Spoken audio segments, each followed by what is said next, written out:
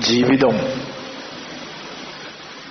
ജീവിതവുമായി ബന്ധപ്പെട്ട സമസ്ത മണ്ഡലങ്ങളും ജീവിതത്തിന്റെ മുഴുവൻ മേഖലകളും പ്രപഞ്ചനാഥനായ അള്ളാഹുവിന്റെ നിയമങ്ങൾക്കും നിർദ്ദേശങ്ങൾക്കും അനുസൃതമായി യഥാർത്ഥ ഇസ്ലാമിക ജീവിതം നയിക്കണമെന്ന് ആ സ്വഭാവത്തിൽ തന്നെ യഥാർത്ഥ ഇസ്ലാമിക ജീവിതം നയിച്ചുകൊണ്ട് ശരിയായ മുസ്ലിമായ നിലയിൽ മരണപ്പെടണമെന്നും ആദ്യമായി എന്നോടും തുടർന്ന് നിങ്ങളിൽ ഓരോരുത്തരോടും വസീയത്ത് ചെയ്യുകയാണ് ഉപദേശിക്കുകയാണ്. അള്ളാഹു സുബാനുഹുവ തേല നമുക്കെല്ലാം യഥാർത്ഥ ഇസ്ലാമിക ജീവിതവും യഥാർത്ഥ ഇസ്ലാമിക മരണവും നമുക്കെല്ലാവർക്കും നൽകി അനുഗ്രഹിക്കുമാറാകട്ടെ. നമ്മുടെയൊക്കെ നാട്ടിൽ ഇപ്പോൾ ഏറ്റവും വലിയ ചർച്ച യൂണിഫോം സിവിൽ കോഡ് എന്ന് പറയുന്ന രാജ്യത്തുള്ള മുഴുവൻ ജനങ്ങൾക്കും ഒരൊറ്റ സിവിൽ നിയമം നടപ്പിലാക്കണം എന്ന പ്രഖ്യാപനം. ഇത് യഥാർത്ഥത്തിൽ ഈ അടുത്ത ദിവസം തുടങ്ങിയ ഒരു വാക്ക് വർത്താനല്ലത്.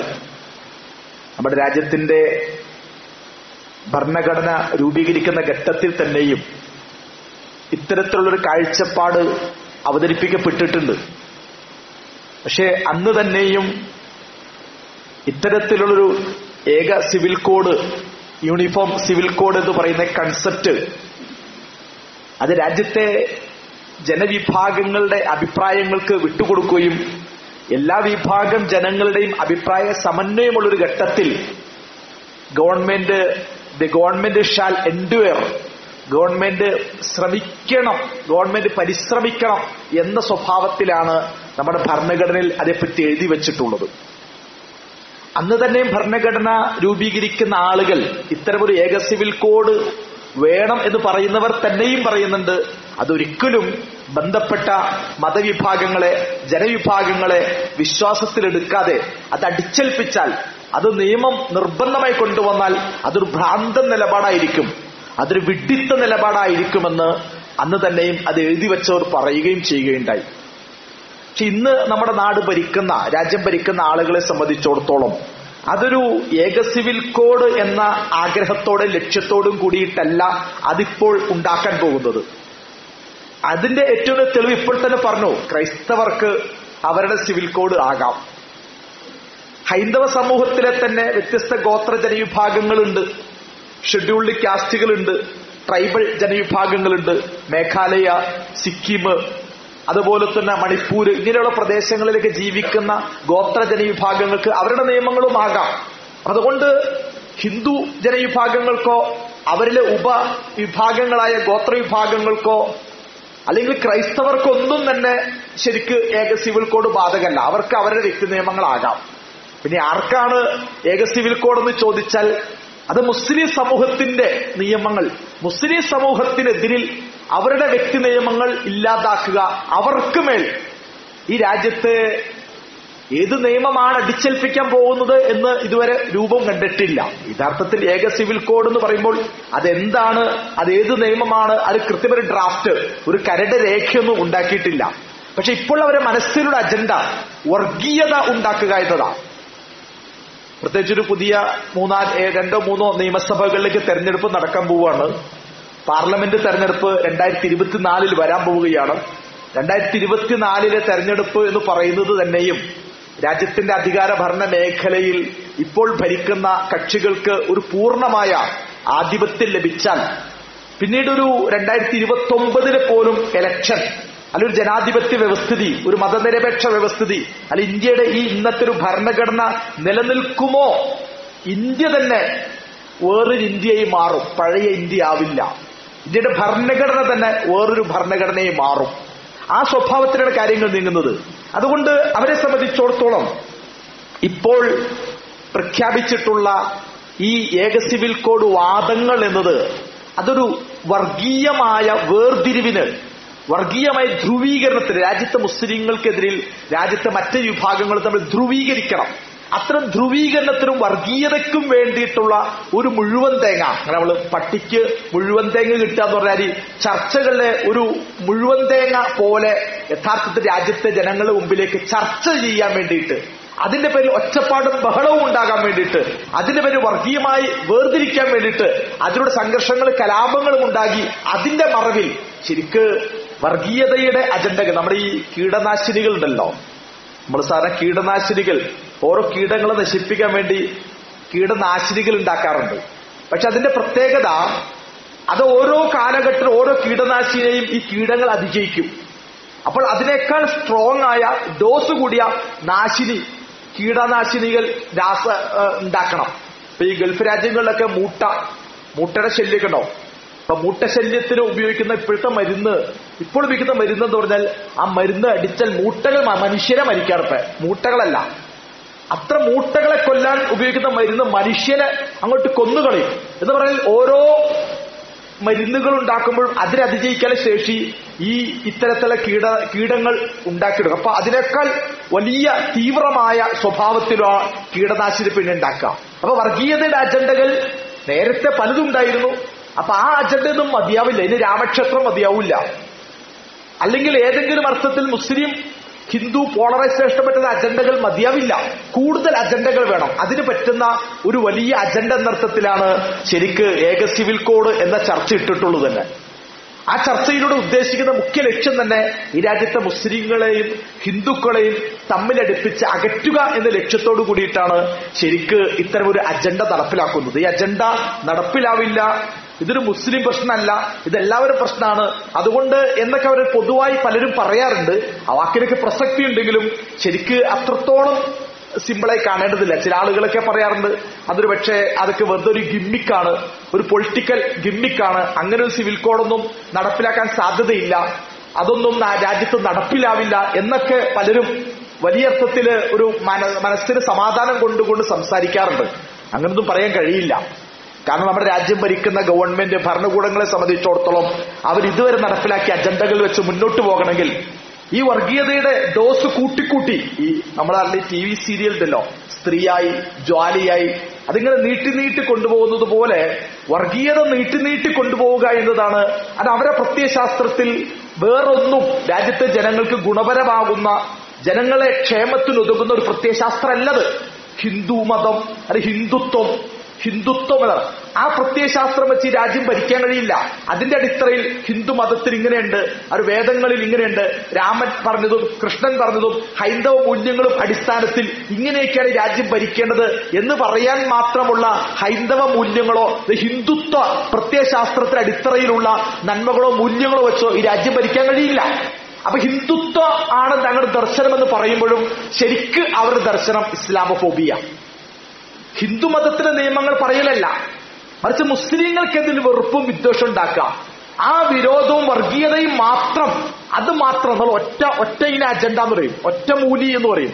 ഒറ്റ ഇന അജണ്ട ഒറ്റ വിളത്തോട്ടം ഏകവിളത്തോട്ടം. അവിടെ മൂന്നാറിലൊക്കെ ചെന്നാൽ ഏകവിളത്തോട്ട. അവിടെ ആകെ കൂടി തേയില മാത്രമേ ഉള്ളൂ. എന്നതുപോലെ ഇവർക്ക് ഒറ്റ ഇന അജണ്ടയുള്ളൂ അത് മുസ്ലിം വിരോധം ഇസ്ലാമോഫോബിയ അത് സൃഷ്ടിച്ച് അത് ഉൽപ്പാദിപ്പിച്ച് അത് ആളുകൾക്ക് പ്രചരിപ്പിച്ച് അങ്ങനെ മുസ്ലിം വിരോധം ശക്തിപ്പെടുത്തുക എന്ന അജണ്ടയിലാണ് ഇപ്പോൾ യഥാർത്ഥത്തിൽ ഇത്തരത്തിലുള്ള ഒരു അജണ്ട നമ്മുടെ നാട്ടിൽ നടപ്പിലാക്കിയിട്ടുള്ളത്. ശരിക്കും നമ്മൾ പലർക്കും രണ്ട് തരത്തിൽ രണ്ട് വിഭാഗം ഇവിടെ രണ്ട് ഏക സിവിൽ കോഡ് എന്ന് പറയുമ്പോൾ രണ്ട് സ്വഭാവത്തിലുള്ള ആളുകൾ അതിനു വേണ്ടിയിട്ട് വാദിക്കാറുണ്ട്. ഒന്ന് നമ്മുടെ രാജ്യം ഭരിക്കുന്ന സംഘപരിവാർ.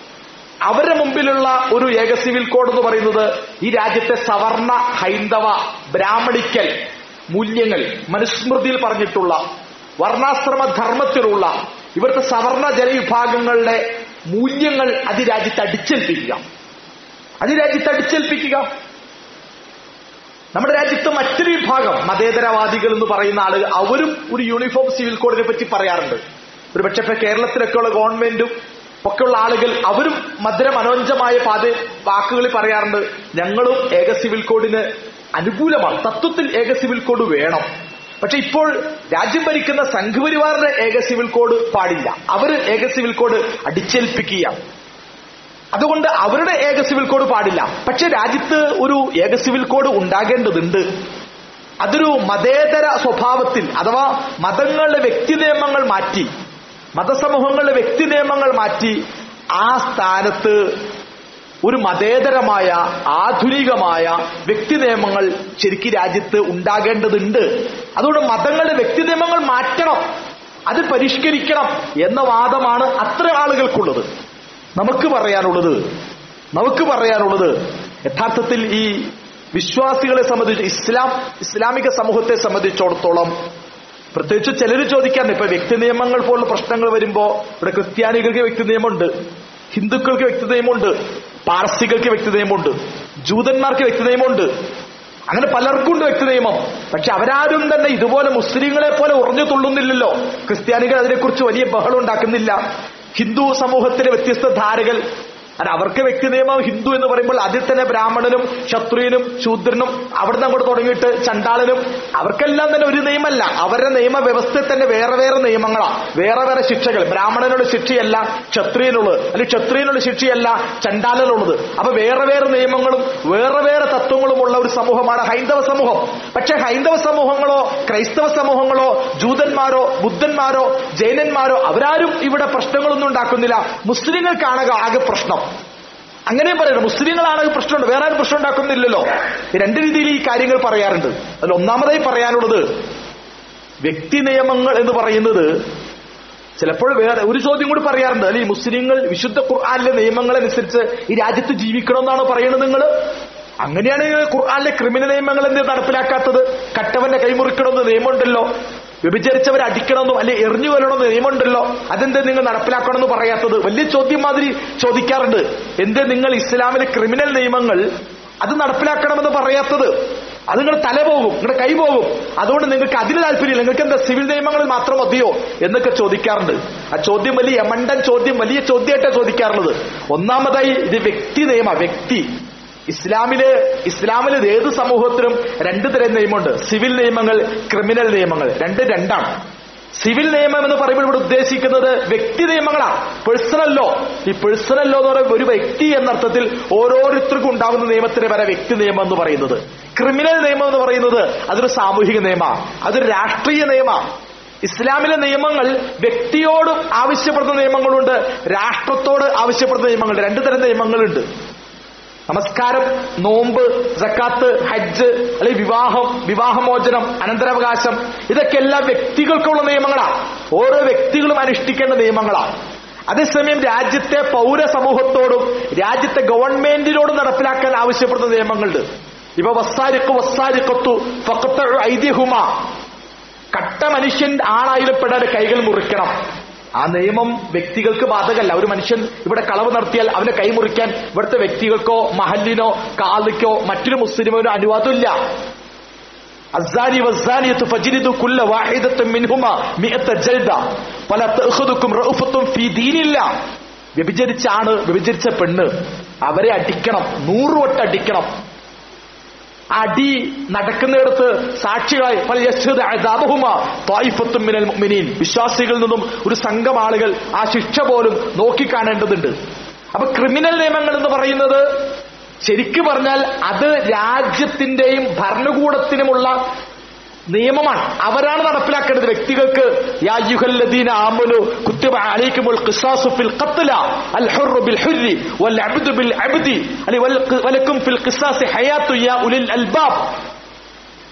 നടപ്പിലാക്കണം. ഈ നിയമങ്ങൾ യാ കുത്തിബ ഖിത്താൽ യുദ്ധം നിർബന്ധമാക്കിയിരിക്കുന്നു. യുദ്ധം ചെയ്യുക എന്നത് ഒരു രാഷ്ട്രം തീരുമാനിക്കേണ്ട കാര്യമാണ്. വ്യക്തി അല്ലെ ഏതെങ്കിലും കുടുംബക്കാര് യുദ്ധം ഇസ്ലാമിലെ ജിഹാദ് കിത്താൽ ചെയ്യാനുള്ള അനുവാദം ഇസ്ലാമിക സമൂഹത്തിലില്ല. അപ്പോൾ ഇസ്ലാമിക ശരീരത്തിലെ നിയമങ്ങളിൽ ക്രിമിനൽ നിയമങ്ങൾ എന്ന് പറയുന്നത് രാഷ്ട്രങ്ങൾ നടപ്പിലാക്കേണ്ട നിയമങ്ങളാണ്. അത് ഇസ്ലാമിന്റെ ഫിഖഹിന്റെ പണ്ഡിതന്മാര് എല്ലാവരും ഏകോപിച്ച് അഭിപ്രായപ്പെട്ട കാര്യമാണ്. അതുകൊണ്ട് വ്യക്തി നിയമങ്ങളുമുണ്ട് ക്രിമിനൽ നിയമങ്ങളുണ്ട്. ഇസ്ലാമിൽ വിശുദ്ധ ഖുർആൻ തന്നെ പരിശോധിച്ചു നോക്കിയാൽ കുത്തിബ അലൈക്കും കുത്തിബ ആലയ്ക്കുമുൽ ഖിത്താൽ കുത്തിബ ആലയ്ക്കും ഇതാ ഇതാ തറക്ക ഖൈറൻ വസീയത്തുലിൽ വാലിദൈൻ. കുത്തിബ ആലയ്ക്കുമുൽ ഖിത്താൽ. ഖിത്താൽ കുത്തിബ ആലയ്ക്കുമുൽ ഖിത്താൽ കുത്തിബ ആലയ്ക്കുമുൽ സൗം സിയാമ് കുത്തിബ ആലയ്ക്കുമുൽ വസീയത്ത് കുത്തിബ ആലയ്ക്കുമുൽ പിന്നെ കിസാസ്. വ്യക്തി നിയമം ആരാധന നിയമം സാമ്പത്തിക നിയമം രാഷ്ട്രീയ നിയമം ഇതെല്ലാം ഇസ്ലാമിലുണ്ട്. ഖുർആാനിലുണ്ട്. അത് ആദ്യം മനസ്സിലാക്കേണ്ട കാര്യമാണ് ഖുർആാനിൽ ഏതെങ്കിലും നിങ്ങളുടെ മതകാര്യങ്ങളോ ആത്മീയ കാര്യങ്ങളോ ആരാധനാ കാര്യങ്ങളോ മാത്രം പറയുന്ന ഗ്രന്ഥമല്ല അങ്ങനെയാണെങ്കിൽ കുത്തിപാലിക്കുമ്പോൾ സിയാമ് മാത്രം പറഞ്ഞാൽ മതിയായിരുന്നു. നോമ്പ് നിർബന്ധമാക്കി എന്ന കാര്യം മാത്രം പറഞ്ഞാൽ മതിയായിരുന്നു. പക്ഷേ വിശുദ്ധ ഖുർആൻ നോമ്പ് നിർബന്ധമാണ് അതുപോലെ തന്നെ നിങ്ങളുടെ സ്വത്ത് അത് നിങ്ങൾ അനന്തരമായി ഇട്ടേച്ചു പോവുകയാണെങ്കിൽ ആ സ്വത്തിൽ നിങ്ങളുടെ അനന്തര ആദ്യ നിയമട്ടെ ആദ്യഘട്ടത്തിൽ അനന്തരാവകാശികളായ ആളുകൾക്ക് വേണ്ടി ചിലപ്പോൾ നിങ്ങൾ വസീത്ത് അറിയിക്കേണ്ടതുണ്ട് എന്ന സ്വത്തുമായി ബന്ധപ്പെട്ട വ്യക്തി നിയമങ്ങൾ പറയുന്നുണ്ട്. യുദ്ധം ഇസ്ലാമിക സമൂഹം ചെയ്യേണ്ട യുദ്ധത്തെക്കുറിച്ച് അതും നിങ്ങൾക്ക് നിർബന്ധമാകുമ്പോൾ നിങ്ങൾ ഇസ്ലാമിക രാഷ്ട്രം യുദ്ധം ചെയ്യുമ്പോൾ യുദ്ധത്തിൽ പങ്കാളികളാകണം എന്ന നിയമം വിശുദ്ധ ഖുർആാനിലുണ്ട്. അപ്പൊ വിശുദ്ധ ഖുർആാനിൽ പറയുന്ന നിയമങ്ങളിൽ സൗമുണ്ട് കിത്താലുണ്ട് വസീയത്തുണ്ട്. അതുപോലെ തന്നെ ഇത് കിസാസ് പ്രതിക്രിയ. ഒരാളൊരു ഒരു കൊലപാതകം നടത്തിയാൽ ആ കൊന്നവനെയും കൊന്നുകളയുക. അതും ചെയ്യേണ്ടതുണ്ട്. പക്ഷെ അത് വ്യക്തിക്ക് ചെയ്യാൻ അനുവാദമില്ല. കട്ടവനെ കൈമുറിക്കാൻ വ്യക്തിക്ക് അനുവാദമില്ല. അത് രാഷ്ട്രവും ഭരണകൂടവും ചെയ്യേണ്ട ക്രിമിനൽ നിയമങ്ങളാണ്. അത് ഇസ്ലാമിക സമൂഹത്തിലും ലോകത്തേത്. സാക്ഷാൽ മുസ്ലിം രാജ്യത്ത് പോലും ഇപ്പൊ അറബ് രാജ്യങ്ങൾ നിങ്ങൾ ജീവിക്കുന്നത്. അവിടങ്ങളിൽ നിങ്ങളുടെ ഉപ്പയെ ഒരാളെ കൊല്ലുന്ന നിങ്ങൾ കണ്ടിട്ടുണ്ട്. പക്ഷെ അയാളെ ഗവൺമെന്റിന് തെളിവില്ലാത്തതുകൊണ്ട് രേഖകൾ സമർപ്പിക്കാൻ കഴിയാത്തതുകൊണ്ട് കൊലപാതകയെ നിങ്ങളുടെ പിതാവിന്റെ കൊലപാതകയെ ഗവൺമെന്റ് വെറുതെ വിട്ടാൽ ആ കൊലപാതക നിങ്ങൾക്ക് കൊല്ലാൻ അനുവാദമുണ്ടോ? നിങ്ങൾക്ക് കൊല്ലാൻ അനുവാദമില്ല. അപ്പൊ ഇസ്ലാമിക രാഷ്ട്രത്തിൽ പോലും ഒരു വ്യക്തി കൊലപാതകം നടത്തിയാൽ അയാളെ തിരിച്ചു കൊല്ലാനുള്ള അനുവാദം ഗവൺമെന്റിനെ ഉള്ളൂ. കോടതിക്കേ ഉള്ളൂ വ്യക്തികൾക്കില്ല. അപ്പൊ ഇസ്ലാമിലെ ക്രിമിനൽ നിയമങ്ങൾ എന്തുകൊണ്ട് ഈ രാജ്യത്ത് നടപ്പിലാക്കാൻ നിങ്ങൾ പറയുന്നില്ല എന്ന ചോദ്യം. യഥാർത്ഥത്തിൽ അതൊരു ബുദ്ധിപരമായ ചോദ്യമല്ല. ആണ് ഇസ്ലാമിലെ ക്രിമിനൽ നിയമങ്ങൾ രാഷ്ട്രം ഇസ്ലാമിക രാഷ്ട്രം നടപ്പിലാക്കേണ്ടതാ. ഇസ്ലാമിക ഭരണകൂടം നടപ്പിലാക്കേണ്ടതാ. അതേസമയം മുസ്ലിം വ്യക്തി നിയമങ്ങൾ എന്ന് പറയുന്നത് ഓരോ വ്യക്തികൾക്കും ലോകത്ത് എല്ലാവരും അനുവദിച്ചിട്ടുള്ളതാണ്. ചിലപ്പോഴൊക്കെ ചോദിക്കാറുണ്ട് ഈ രൂപത്തിൽ മുസ്ലിം രാജ്യങ്ങൾ അനുവദിക്കുമോ? മുസ്ലിം രാജ്യങ്ങൾ അനുവദിച്ചിട്ടുണ്ട്. സാക്ഷാൽ പ്രവാചകൻ മുഹമ്മദ് മുസ്തഫ സല്ലാഹു അലൈഹി വസ്ലമയുടെ സമൂഹം മദീന. മദീന എന്ന് പറയുന്ന ഇസ്ലാമിക രാഷ്ട്രത്തിൽ ജീവിച്ചിട്ടുള്ള ജൂതന്മാരും ക്രിസ്ത്യാനികളും മുഷ്രിക്കുകളും മുസ്ലിങ്ങളും ഈ നാല് വിഭാഗം ആളുകളും ഒരുമിച്ച് ജീവിച്ച നാടാണ് മദീന. ആ മദീനയിൽ ഒരുപക്ഷെ പതിനഞ്ച് ശതമാനത്തോളം മുസ്ലിങ്ങളുള്ളത്. ഭൂരിപക്ഷം പോലും മുസ്ലിങ്ങളല്ല. പക്ഷെ നാടിന്റെ അധികാരവും ഭരണവും മഹാനായ പ്രവാചകൻ മുഹമ്മദ് മുസ്തഫ സല്ലാഹു അലൈഹി സ്വലമിയുടെ അടുക്കല വന്നത്. അന്ന് പോലും അള്ളാഹുവിന്റെ റസൂൽ പറയുന്നുണ്ട് ലന ദിനുന വലുക്കും ദിനുക്കും. നെഹ്നു ഉമ്മത്തും വാഹിദ. നെഹ്നു ഉമ്മത്തും വാഹിദ. ലന ദീനുന വലക്കും ദീനുക്കും. അതെ നമ്മളെല്ലാവരും ഒറ്റ സമൂഹമാ. ജൂതന്മാരെ ക്രിസ്ത്യാനി ക്രിസ്ത്യൻ ചെറിയ അളവിലുണ്ട് കേട്ടോ ക്രൈസ്തവര് ജൂതന്മാര് ബഹുദൈവ വിശ്വാസികൾ മുസ്ലിങ്ങൾ എല്ലാവരും ഇവിടെ ജീവിക്കുന്നുണ്ട്. നിങ്ങൾക്ക് നമ്മളെല്ലാം ഒറ്റ സമൂഹം. ലക്കും ദീനുക്കും നിങ്ങൾക്ക് നിങ്ങളുടെ മതമാകാം. നിങ്ങളുടെ മതമാകാം. നിങ്ങളുടെ വിശ്വാസമാകാം. വ്യക്തി നിയമങ്ങൾ ഇസ്ലാമിക സമൂഹത്തിൽ മദീന ചാർട്ടിൽ തന്നെ ജൂതന്മാർക്കും മറ്റുള്ള പല്യഹ്ക്കും അഹ്ലുൽ ഇഞ്ചിരി ബിമ ഉൻസിലയിലേക്കും ഇഞ്ചിരികാര് അവരെ അവർക്കിറക്കിയ വിധി പ്രകാരം വിധിക്കട്ടെ. തൗറാത്തിന്റെ അടിസ്ഥാനത്തിൽ എന്തുകൊണ്ട് വിധിക്കുന്നില്ല?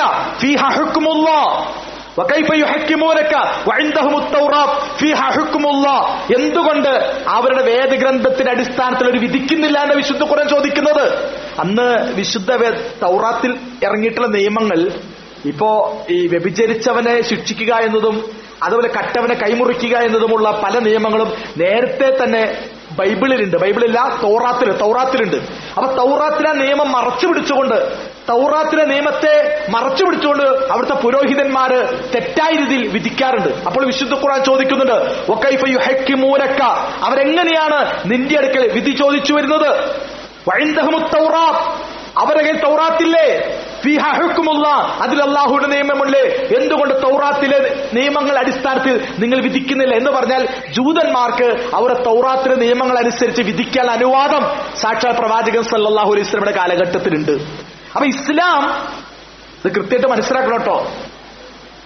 ഇസ്ലാം അതിന്റെ ഒന്നാമത്തെ മദീന ചാർട്ടിൽ തന്നെയും അവിടെ ജീവിച്ചിരുന്ന എല്ലാ വിഭാഗ ജനങ്ങൾക്കും അവരുടെ പേഴ്സണൽ ലോ അല്ല ഹെവാലു ഷഖ്സിയ അല്ല ഹെവാലു ഷഖ്സിയ പേഴ്സണൽ ലോസ് എന്ന് പറയുന്നത് പ്രവാചകന്റെ കാലഘട്ടം മുതൽ ഇസ്ലാമിക ഖിലാഫത്തിലെല്ലാം അനുവദിച്ചിരുന്നു. ക്രിസ്ത്യാനികൾ ഒരു വിശ്വാസമാകാം ജൂതന്മാർക്കൊരു വിശ്വാസമാകാം അതേപോലെ തന്നെ ഇന്നും അറബ് മുസ്ലിം നാടുകളിൽ പല മുസ്ലിം നാടുകളും ഇപ്പൊ യു എയിലേക്ക് ഏറ്റവും അവസാനം അവിടുത്തെ ക്രിസ്ത്യൻ ലോസ് അല്ലെങ്കിൽ മറ്റിതര സമൂഹങ്ങൾക്കുള്ള പേഴ്സണൽ ലോ കൃത്യമായി രേഖപ്പെടുത്തി എഴുതി തയ്യാറാക്കിയിട്ടുണ്ട്. അതുകൊണ്ട് മുസ്ലിങ്ങൾ മാത്രം അതല്ലത്.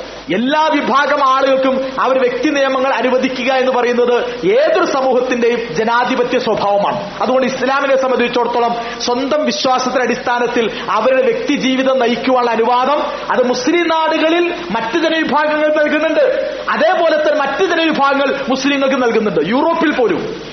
യൂറോപ്പിൽ പോയി ഇന്ന് അമേരിക്ക. അമേരിക്ക യുണൈറ്റഡ് സ്റ്റേറ്റ്സ് എന്ന് പറഞ്ഞാൽ പത്തമ്പതോളം ചെറു എന്താ പറയാ നാട്ടിൽ സ്റ്റേറ്റുകൾ ചേർന്ന.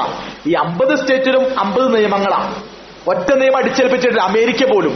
ആധുനിക യൂറോപ്യൻ രാജ്യങ്ങൾ വരെയും ഇതുപോലെ നിയമങ്ങൾ അടിച്ചേൽപ്പിച്ചിട്ടില്ല.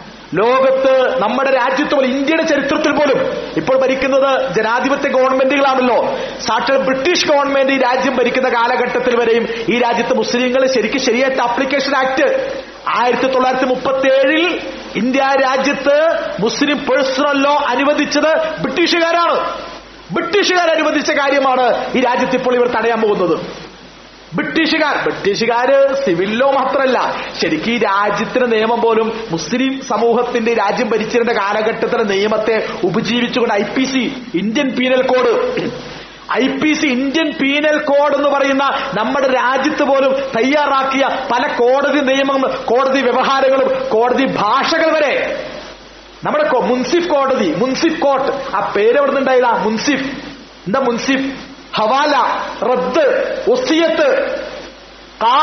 അതായത് നിലനിൽക്കുന്ന നമ്മുടെ നാട്ടിലെ പീനൽ നിയമങ്ങൾ വരെയും കോടതി ഭാഷകൾ വരെയും ഇസ്ലാമിക ശരീരത്തിൽ നിന്ന് സ്വീകരിച്ചതാണ് അതുപോലും ബ്രിട്ടീഷുകാർ ഇവിടെ സ്വീകരിച്ചത്. പക്ഷെ അതിനിടയിൽ പോലും പഞ്ചാബിൽ പഞ്ചാബുമായി ബന്ധപ്പെട്ട അവിഭക്ത ഇന്ത്യ കേട്ടോ ഇന്നത്തെ ഇന്ത്യയിലെ അവിഭക്ത ഇന്ത്യയിലെ പഞ്ചാബിൽ ഒരു പെൺകുട്ടി അവർ പിതാവ് മരിച്ചപ്പോ പിതാവിന്റെ സ്വത്ത് മകൾക്ക് കിട്ടണം എന്ന് പറഞ്ഞുകൊണ്ട് കേസ് കൊടുക്കേണ്ടി വന്നു. അവിടുത്തെ നാട്ടു നടപ്പ് പ്രകാരം പഞ്ചാബിൽ നാട്ടു നടപ്പ് പ്രകാരം പെൺകുട്ടികൾക്ക് അവരുടെ പിതാവിന് ആൺകുട്ടികൾക്ക് മാത്രം സ്വത്തുള്ളൂ. പെൺകുട്ടികൾ സ്വത്തില്ല. അതുകൊണ്ട് പെൺകുട്ടിക്ക് പിതാവിന് സ്വത്ത് കിട്ടുന്നില്ല എന്ന് പഞ്ചാബിലെ ഒരു പ്രാദേശിക കോടതി വിധിച്ചപ്പോഴാണ് ശരിക്കും ഇവിടെ പണ്ഡിതന്മാര് മുസ്ലിം പണ്ഡിതന്മാർ ബ്രിട്ടീഷുകാരുടെ മുമ്പിൽ ബ്രിട്ടീഷുകാരുടെ മുമ്പിൽ ചെന്ന് പറഞ്ഞു ഞങ്ങൾ ശരീരത്തിൽ പെൺകുട്ടികൾക്ക് പിതാവിന്റെ സ്വത്തിൽ ഭാഗമുണ്ട്. ഒരു പിതാവിന്റെ സ്വത്തിൽ പെൺകുട്ടിക്ക് അവകാശമുണ്ട്. അതുകൊണ്ട് പഞ്ചാബിൽ ഈ നിയമം ഈ നിയമം അത് അവിടുത്തെ പ്രാദേശിക നിയമമാണ്. ആ നിയമം ഞങ്ങൾക്ക് ബാധകല്ല ഞങ്ങളുടെ വിശ്വാസപ്രകാരം മുസ്ലിം ആണെങ്കിൽ ആ മുസ്ലിം പെൺകുട്ടിക്കുള്ള അനന്തരാവകാശ നിയമത്തിൽ യഥാർത്ഥത്തിൽ പിതാവിന്റെ സ്വത്തിൽ മകൾക്ക് അവകാശമുണ്ട് എന്ന് പറഞ്ഞുകൊണ്ട് അവകാശവാദവും സമരം നയിച്ചിട്ടാണ് ഈ രാജ്യത്ത് ആയിരത്തി തൊള്ളായിരത്തി മുപ്പത്തി ഏഴിൽ ആയിരത്തി തൊള്ളായിരത്തി നാൽപ്പത്തി ഏഴിലാണ് രാജ്യം സ്വാതന്ത്ര്യം നേടുന്നത്. ആയിരത്തി തൊള്ളായിരത്തി മുപ്പത്തി ഏഴിൽ ശരിയത്ത് അപ്ലിക്കേഷൻ ആക്ടിന്റെ പേരിൽ മുസ്ലിം പേഴ്സണൽ ലോ ബ്രിട്ടീഷുകാർ അനുവദിച്ചത്. ഇന്ത്യയുടെ ചരിത്രത്തിൽ ഒരു കാലഘട്ടത്തിലും ഏക സിവിൽ ഉണ്ടായിട്ടില്ല. ഒരു ആർഷഭാരത സംസ്കാരം എന്നൊക്കെ പറഞ്ഞൊരു പൂർവ സംസ്കാരം പറയാറുണ്ടല്ലോ. മൗര്യ സാമ്രാജ്യം മുതൽ ഗുപ്ത സാമ്രാജ്യം മുതൽ കൗഡല്യന്റെ അർത്ഥശാസ്ത്രം ഒരുപക്ഷെ ഇന്ത്യയിലെ ആദ്യത്തെ നിയമവ്യവസ്ഥ അതെയാ. കൗടല്യന്റെ അർത്ഥശാസ്ത്രം മുതൽ ഈ രാജ്യം ഭരിച്ചിരുന്ന ഓരോരുത്തരും ഈ ഹൈന്ദവ വേദങ്ങളിൽ തന്നെയും വേറെ വേറെ നിയമങ്ങളാണ് ഉണ്ടായിട്ടുള്ളത്.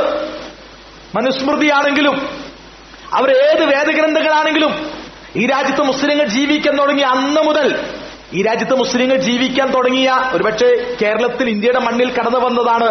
ശരിക്കു പറഞ്ഞാൽ ചേരമാൻ പെരുമാൾ കൊടുങ്ങല്ലൂർ ഭരിക്കുന്ന കാലഘട്ടത്തിൽ ഇവിടെ മാലിക് ദീനാർ ഹബീബിന് ദീനാർത്തോട് കേരളത്തിൽ കടന്നു വന്ന മുസ്ലിങ്ങൾ മുതൽ. കേരളത്തിൽ കടന്നു വന്ന മുസ്ലിങ്ങളുടെ ചരിത്രം എഴുതിയ പുസ്തകമാണ് തുഹഫത്തുൽ മുജാഹിദീൻ. ആ പുസ്തകത്തിൽ പോലും കാണാൻ കഴിയും ഈ രാജ്യത്തെ മുസ്ലിങ്ങൾ സാമൂതിരിയുടെ കാലഘട്ടത്തിൽ അവിടെ തൊട്ടാണ് നമുക്ക് കിട്ടുന്ന ചരിത്രം. സാമൂതിരി കോഴിക്കോട് ഭരിക്കുന്ന കാലഘട്ടത്തിൽ കുഞ്ഞാലി മരക്കാർ അവിടെയുണ്ട്. അന്ന് നായർ നിയമമുണ്ട് മുസ്ലിങ്ങൾക്ക് വേറെ നിയമമാണ്. നായന്മാരുടെ നിയമപ്രകാരം കടൽ കടന്ന് യുദ്ധം ചെയ്യാൻ പാടില്ല. പക്ഷെ മുസ്ലിങ്ങൾക്ക് കടൽ കടന്ന് യുദ്ധം ചെയ്യാം. അപ്പൊ നായര് സാമൂതിരി ഹിന്ദു നിയമപ്രകാരം ഈ രാജ്യം ഭരിച്ചു. അവിടെ ജീവിച്ച മുസ്ലിങ്ങൾക്ക് മുസ്ലിം വിഭാഗങ്ങൾക്ക് അവരുടെ വ്യക്തി ജീവിതത്തിൽ അവരുടെ പേഴ്സണൽ ലോ അനുവദിച്ചുകൊണ്ടാണ് കേരളത്തിലെ ചരിത്രത്തിൽ സാമൂതിരിയുടെ കാലഘട്ടത്തിൽ പോലും കേരള ചരിത്രം ആരംഭിക്കുമ്പോൾ മുസ്ലിങ്ങൾക്ക് മുസ്ലിങ്ങളെ അന്ന് ഹിന്ദുക്കളും മുസ്ലിങ്ങളും ഒരുമിച്ച് നിന്ന് പറങ്കികളോട് സമരം ചെയ്യുന്നുണ്ട്. ആ സമരത്തിൽ പോലും ഹിന്ദുക്കൾക്ക് ഹിന്ദു നിയമങ്ങളും മുസ്ലിങ്ങൾക്ക് മുസ്ലിം നിയമങ്ങളും ആകാം അന്ന് സാമൂതിരി ഇതിന്റെ പ്രശ്നം എന്ന് പറഞ്ഞാലേ പ്രശ്നം മുസ്ലിം നിയമങ്ങൾ മുസ്ലിം വ്യക്തി നിയമങ്ങൾ രണ്ട് കാര്യമുണ്ട്. ഒന്ന് മറ്റുള്ള ഹിന്ദു ക്രൈസ്തവ നിയമങ്ങളൊന്നും മൂർത്തമല്ല വ്യക്തമല്ല. സവർണ നിയമങ്ങളാ ഉള്ളത് മനുസ്മൃതിയാ ഉള്ളത്. ആ നിയമങ്ങൾക്കൊന്ന് കൃത്യമായ രൂപമോ ഭാവമോ നൽകാനുള്ള ശേഷി ക്രിസ്ത്യാനികൾക്കോ ഹിന്ദുക്കൾക്കോ ജൈനന്മാർക്കോ ബുദ്ധന്മാർക്കോ അല്ലെങ്കിൽ നമ്മുടെ നാട്ടിലെ കമ്മ്യൂണിസ്റ്റുകൾക്കോ ഭൗതികവാദികൾക്ക് ആർക്കുമില്ല. ഇല്ല ഇത് വേറൊരു പോയിന്റ് കേട്ടോ മുസ്ലിങ്ങളുടെ പ്രശ്നം അവരുടെ വ്യക്തി നിയമം വളരെ വ്യക്ത. നമുക്ക് കൃത്യമായി വ്യക്തി നിയമങ്ങൾ ഉണ്ട് എന്നതാ. ആ വ്യക്തി നിയമങ്ങൾ വളരെ വ്യക്തറക്കനാലൽ മഹജത്തിൽ കനഹാരിഹ. ഇസ്ലാമിലെ നിയമം ഒരു മനുഷ്യന്റെ വ്യക്തി ജീവിതത്തിൽ ഇപ്പൊ തന്നെ വിവാഹം. വിവാഹമോചനം. അനന്തരാവകാശം. ഇതൊക്കെയാണ് വ്യക്തി നിയമം എന്ന് കേൾക്കുമ്പോൾ സിവിൽ നിയമം ഇവിടെ ആകെ സിവിൽ നിയമങ്ങളെല്ലാം ശരിക്കും മുസ്ലിങ്ങൾക്ക് ഒന്ന് വേറിട്ടുണ്ടല്ലേ സിവിൽ നിയമങ്ങളെല്ലാം ഒന്ന് തന്നെ ഇവിടെ. ഇവിടുത്തെ റോഡ് നിയമങ്ങൾ ഇവിടുത്തെ ഭൂ നിയമങ്ങൾ ഇവിടുത്തെ ടാക്സ് നിയമങ്ങൾ ഇവിടുത്തെ പരിസ്ഥിതി നിയമങ്ങൾ ഇവിടുത്തെ വന നിയമങ്ങൾ ഇവിടുത്തെ ജലസേചന നിയമങ്ങൾ ഇതെല്ലാവർക്കും ഒന്നും തന്നെ.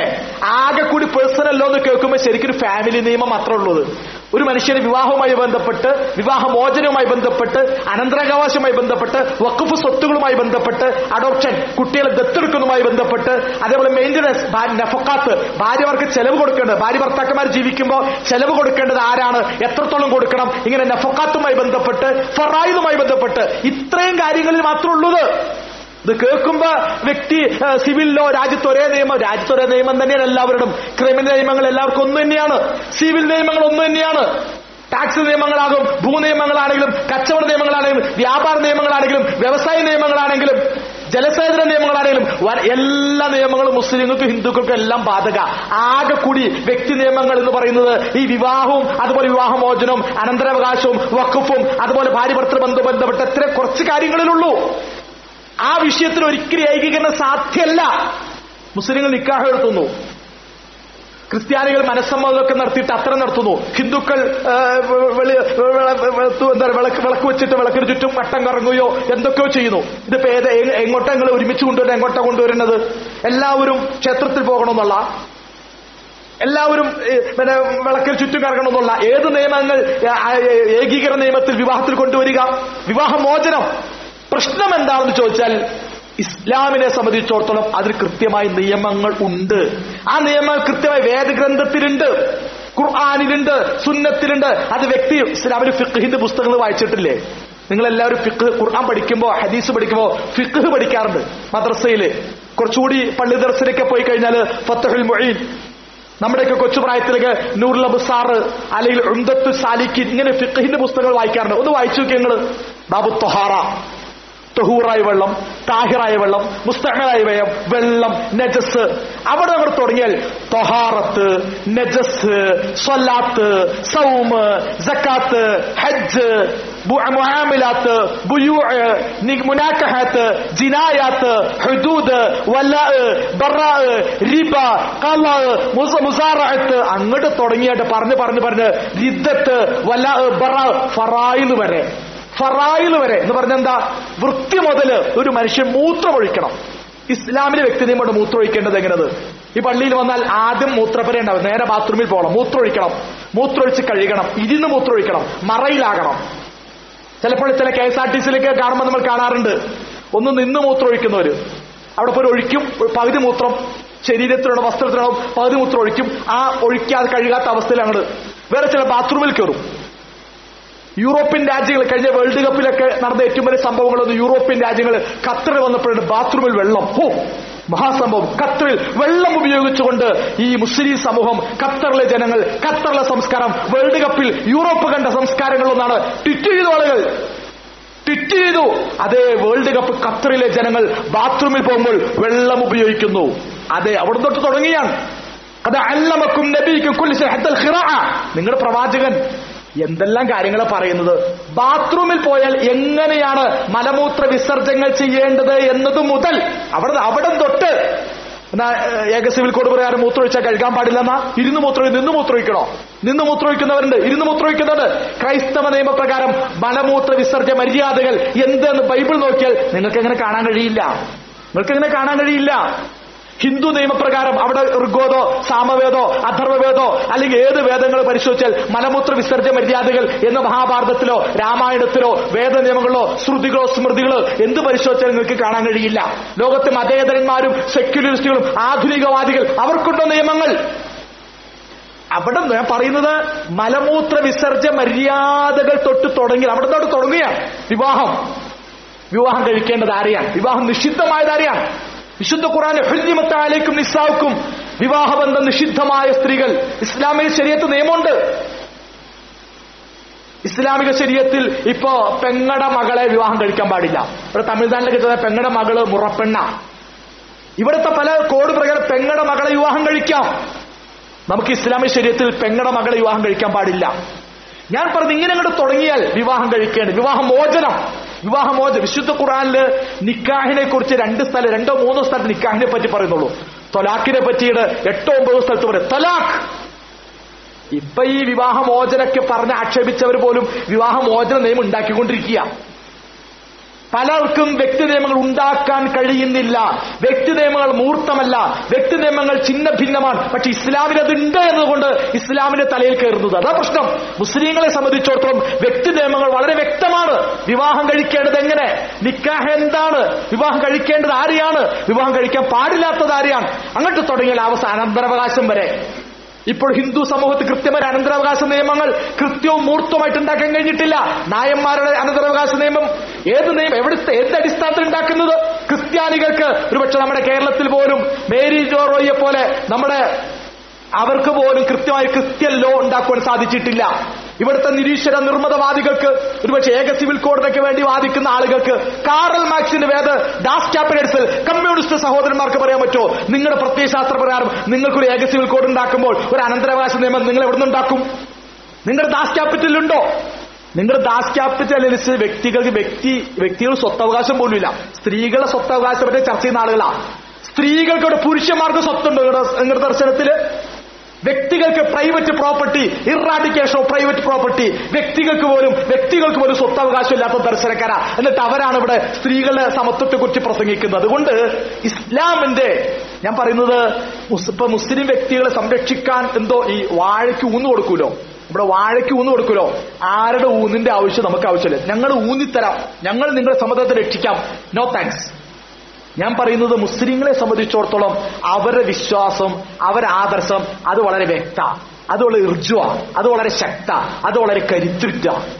അതിനോടുള്ള വെറുപ്പ് അറപ്പുള്ളവർക്കും ഉണ്ടെന്ന് നിങ്ങൾക്കറിയാം. അതിന്റെ പേരിൽ ആരുടെ ഔദാര്യം തിന്നാൻ നിർത്താനും അത് തന്നെ പിന്നീട് കുത്താൻ. നിങ്ങളുടെ സിവിൽ കോഡൊക്കെ ഒന്ന് മാറ്റണം. നിങ്ങളുടെ വ്യക്തി ജീവിത പരിഷ്കരണം നടത്തലാക്കണം. ഈ ബഹുഭാരിത്വം പ്രിയമുള്ള ബഹുഭാരിത്വമാണെങ്കിലും വിവാഹമോചനമാണെങ്കിലും അനന്തരാവകാശമാണെങ്കിലും ഇസ്ലാമിക ശരിയത്ത് ദൈവികമാണ് വിശുദ്ധ ഖുർആാനിലും പ്രവാദികളിലും വന്നിട്ടുള്ളത്. അത് മാറ്റി തീർക്കേണ്ട ആവശ്യം മുസ്ലിങ്ങൾക്കില്ല. നിങ്ങൾ പറഞ്ഞ നിയമങ്ങൾ മുന്നിട്ട് വെക്ക്. ഞങ്ങൾ നിയമം മറുവശത്ത് വെക്കുക ഒന്ന് ചർച്ചയാകാം. ഇത് സംവാദമാകാം. ധൈര്യമുണ്ടോ? ഇസ്ലാമിക ശരീരത്തിൽ വ്യക്തിയുടെ ജീവിതത്തെക്കുറിച്ച് ചർച്ചയാകാം. വിവാഹത്തെക്കുറിച്ച്. വിവാഹത്തെക്കുറിച്ച് നിങ്ങളുടെ അവകാശം എന്താ? വിവാഹം പ്രായമായാൽ ആണും പെണ്ണും വിവാഹം കഴിക്കണം. നിങ്ങൾ പറയൂ യുക്തിവാദികൾ പറയൂ നിങ്ങളുടെ കാഴ്ചപ്പാട് എന്താ? നിങ്ങൾ പറയൂ യുക്തിവാദികളെ നിരീശ്വരവാദികളെ മത മതേതരന്മാരെ പുരോഗമനവാദികളെ വിവാഹം വേണോ വേണ്ട? വിവാഹം മുതലാളിത്തത്തിന്റെ ചൂഷണോപാധി എന്ന് പറഞ്ഞ ആൾക്കാരാണ് ഇവിടുത്തെ വലിയ പ്രത്യയ ശാസ്ത്രക്കാർ വിവാഹത്തെക്കുറിച്ച് നിങ്ങളുടെ അവകാശം എന്താ? അതുകൊണ്ട് ഇസ്ലാമിക സമൂഹം പ്രതിസന്ധികളുണ്ടെങ്കിലും തല ഉയർത്തിയേ ജീവിക്കാവൂ. ആത്മാഭിമാനത്തോടെ ജീവിക്കാവൂ. നമ്മുടെ വിശ്വാസം നമ്മുടെ ആദർശം നമ്മുടെ വ്യക്തി നിയമങ്ങൾ എല്ലാം സമ്പന്നമാണ് സമഗ്രമാണ് ശാസ്ത്രീയമാണ് ആധുനികമാണ്. അതിനോടുള്ള അറിവ് അറപ്പും അതിനോട് വിശ്വ ആ നിയമം ദുരുപയോഗം ചെയ്യുന്നുണ്ടാവും. ബഹുഭാരത്വം ദുരുപയോഗം ചെയ്യുന്നുണ്ടാകും. വിവാഹമോചന വ്യ- വ്യവസ്ഥകൾ ദുരുപയോഗം ചെയ്യുന്നുണ്ടാവും. അത് വേറെ ചർച്ച ചെയ്യണം നിയമങ്ങൾ ദുരുപയോഗം ചെയ്യുന്ന വേറെ നിയമങ്ങൾ വേറെ. നിയമങ്ങളാണ് ഞങ്ങളെ സംബന്ധിച്ച് മുഖ്യം. മുസ്ലിമിനെ സംബന്ധിച്ചിടത്തോളം അവന്റെ ജീവിതത്തിൽ ഈ നമസ്കാരം നോമ്പ് മാത്രമല്ല ഇസ്ലാമിക ശരിയായിട്ട്. ഞങ്ങളുടെ കുടുംബം ഞങ്ങളുടെ വിവാഹം ഞങ്ങളുടെ ഭാര്യഭർത്തൃ ബന്ധം ഞങ്ങളുടെ അനന്തരാവകാശം ഞങ്ങളുടെ വഖഫ് ഞങ്ങളുടെ ഭാര്യഭർത്തൃ ബന്ധത്തിലെ എല്ലാ നിയമങ്ങളും ഖുർആാനിൽ ഈല ആണെങ്കിലും ലിആൻ ആണെങ്കിലും അത് ലിഹാർ ആണെങ്കിലും തൊലാഖ് ആണെങ്കിലും ഹുൽ ആണെങ്കിലും ഫസ്ഖ് ആണെങ്കിലും എന്ത് മനോഹരാണ് ഇസ്ലാമിലെ ഫിഖ്. എത്ര ഗംഭീരമാണ് ഇസ്ലാമിലെ നിയമങ്ങൾ. ഒന്ന് പഠിച്ചു നോക്ക്. അതുകൊണ്ട് പ്രിയമുള്ളവരെ ഇസ്ലാമിക സമൂഹം ഈ ചർച്ച നടക്കുമ്പോൾ പോലും സ്വന്തം വിശ്വാസത്തെയും ആദർശത്തെയും അഭിമാനപൂർവം അന്തസ്സോടെ ഉയർത്തിപ്പിടിച്ചുകൊണ്ട് തന്നെ മുന്നോട്ട് പോകണം. അള്ളാഹു സുബാനഹുത്തായ പ്രതിസന്ധികളെ സാധ്യതകളാക്കി മാറ്റാൻ വെല്ലുവിളിക്കപ്പെടുന്ന ഇസ്ലാമിക ആദർശത്തെ പ്രഭാഷണം I T media group. For more details, please contact 854753980.